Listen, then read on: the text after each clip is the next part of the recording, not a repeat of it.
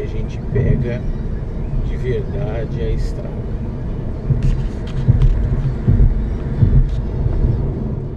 Sete quilômetros aqui na RS 235, a gente chega no pedágio, 7,90.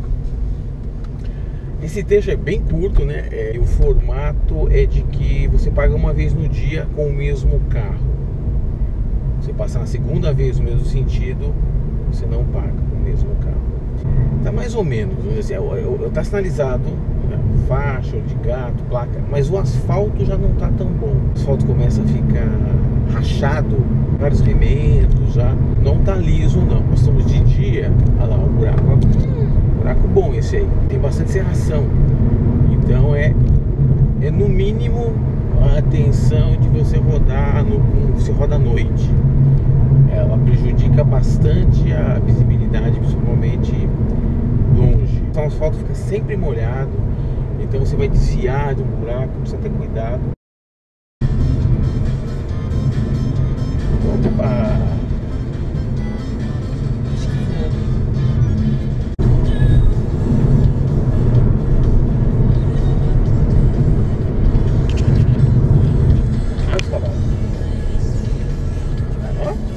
Placa.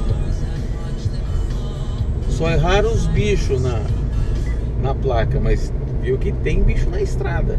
Logo depois que passa o pedágio, tem uns buracos ali, a estrada fica boa. Lisa, asfalto, aí ela fica boa. Mas deu pra ver bastante serração, animais na pista de verdade. É só placa não. A estrada ajuda nesse sentido, ela é boa. Está boa. Agora aqui a gente pega a RS 020 nós pegamos essa estrada também quando nós viemos, chegamos aqui na serra, então a gente vai por ela.